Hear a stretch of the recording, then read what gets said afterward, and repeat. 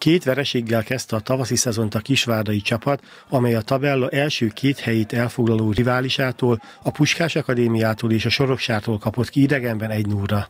A folytatásban a Kozár Bislenyt három núra, a Sopront egy núra verte Révész Attila együttese, majd a legutóbbi fordulóban Békés Csabán gól nélküli döntetent játszottak a várdaiak. Ezen a hétvégén a válogatott világbajnoki selejtezője miatt nem rendeznek fordulót az MB2-ben, a Kisvárda viszont pályára lép, a 22. fordulóban Azonban elmaradt Szolnok elleni hazai meccsen gyarapíthatják pontjaik számát Fodor Ferencék. Elindultunk ebből a kis gödörből kifelé, magabiztosabbak lettünk, és tulajdonképpen azért dolgoztunk, hogy most az elmaradt mérkőzést, amit a Szolnok ellen fogunk vívni, az fontos lehessen, és közelebb kerülhessünk a, az élmezőnyhöz. Készültünk a szolnokból, láttuk őket, az biztos, hogy egy masszív, jól védekező, zártan védekező csapat, nehéz lesz a védelmüket feltörni, azonban megvannak nekünk azok a támadóink, akik jól egyezegyeznek, úgyhogy azt gondolom, hogy, hogy otthon egy, egy nehéz, nehéz meccs vár ránk, de, de sikeresek lehetünk.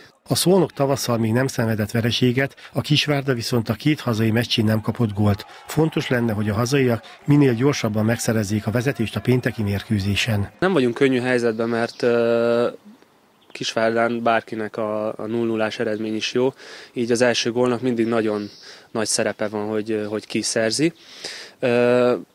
A második legkevesebb gólt kaptuk a, a bajnokságban, én azt gondolom, hogy ez elismerés a, a csapat védekezésére és a védőire nézve.